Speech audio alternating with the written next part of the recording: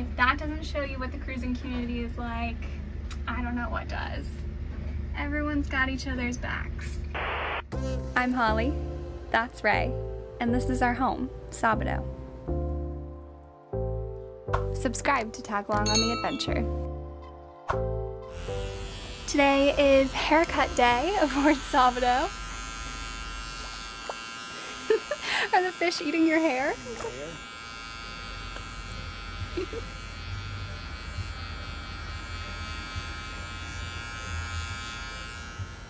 The water clarity today is unbelievable.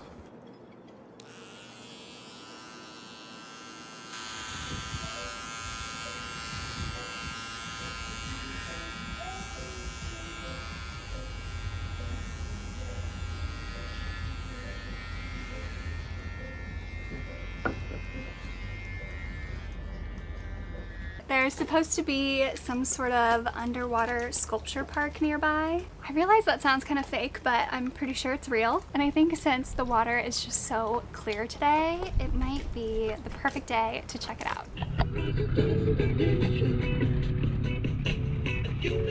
I'm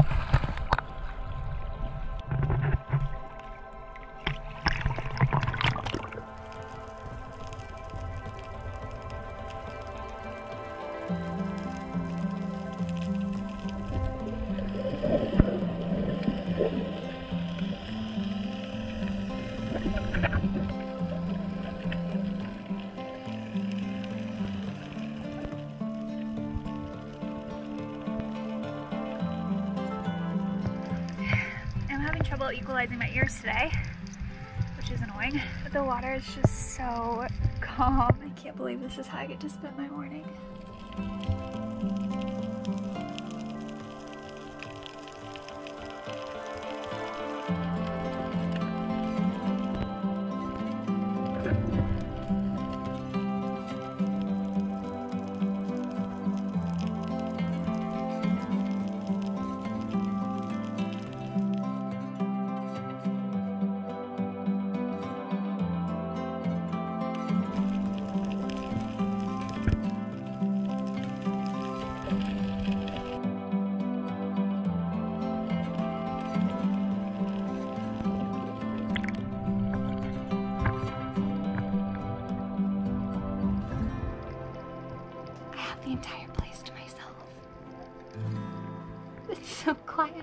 I should be whispering.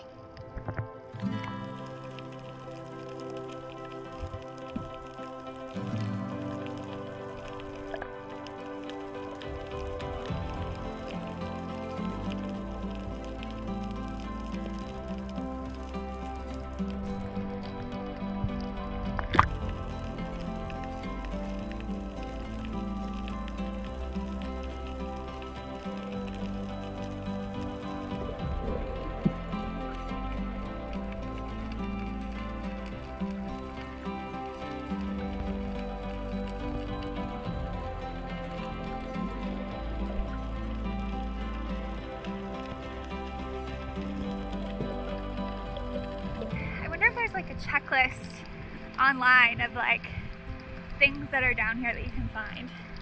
I should have done some more research.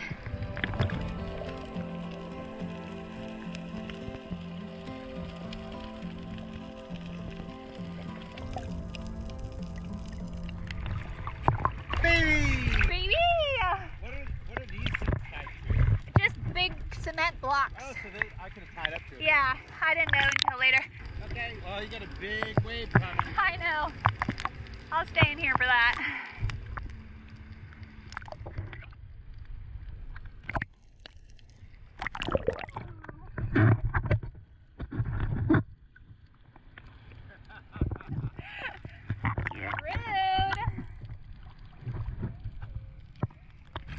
water feels so good.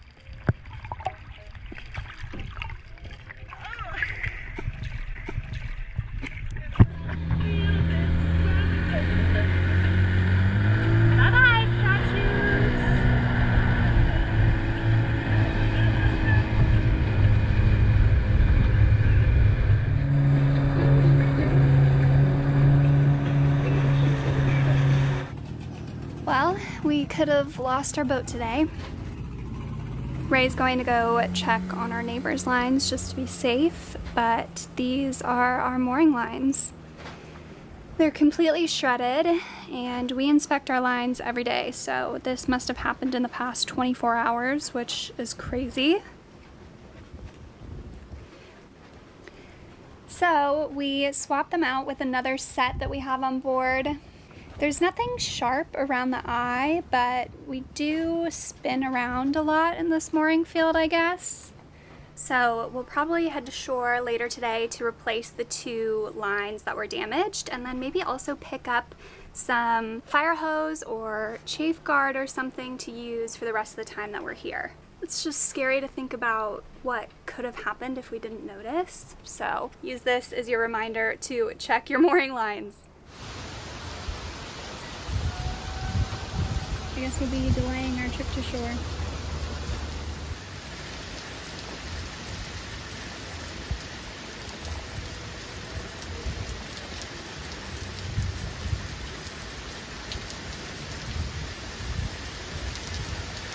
Oh.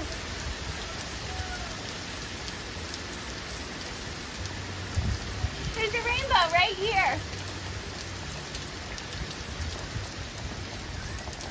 I know. I think I recorded it up here.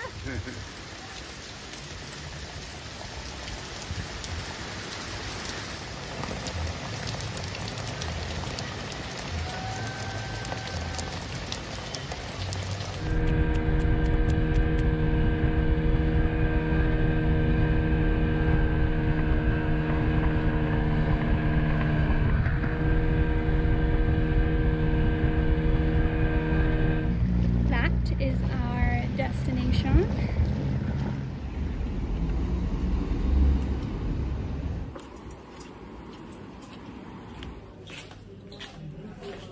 The wet flip-flop sound. I know.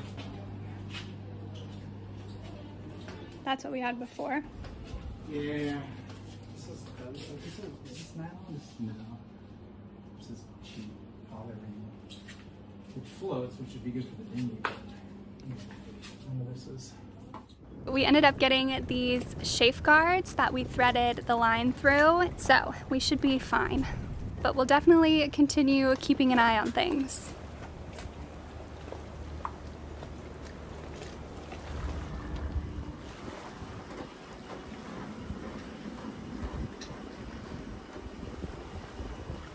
Right, one thing about me is I will always buy fruit from the guys who hang around the dinghy dock. Today we got a bunch of limes and whatever the heck these things are. These must have just come in season because I've only seen them around this week. So I'm gonna give everything a good wash and then we'll give them a try, I guess.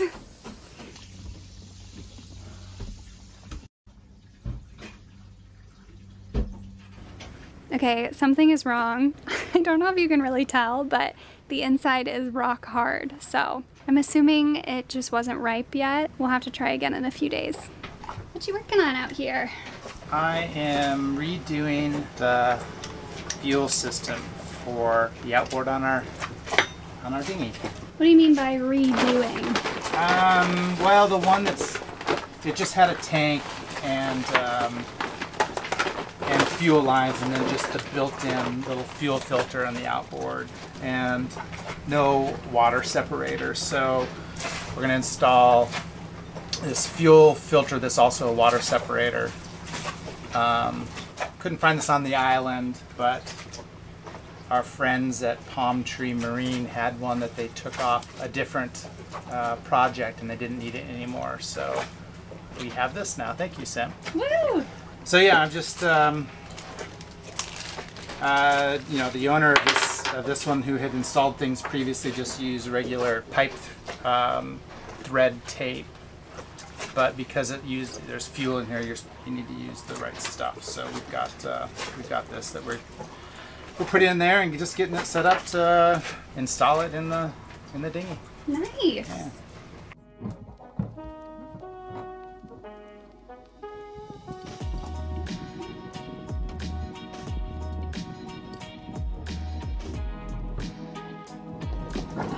Thank you, baby. Welcome.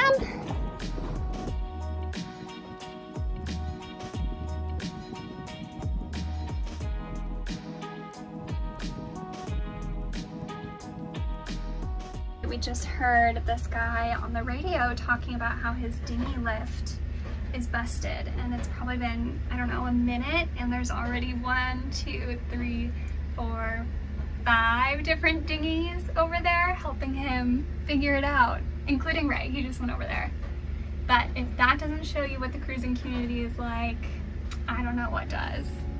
Everyone's got each other's backs.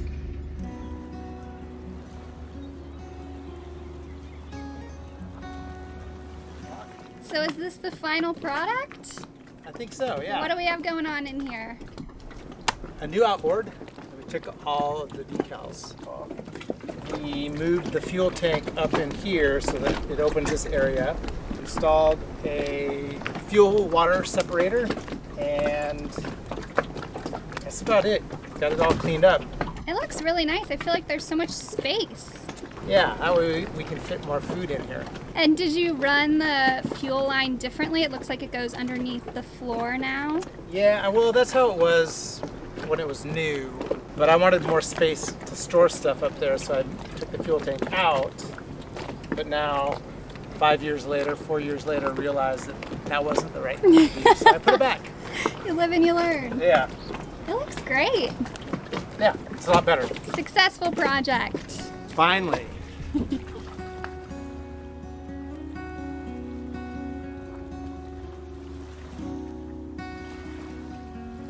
Super rolling in here this evening.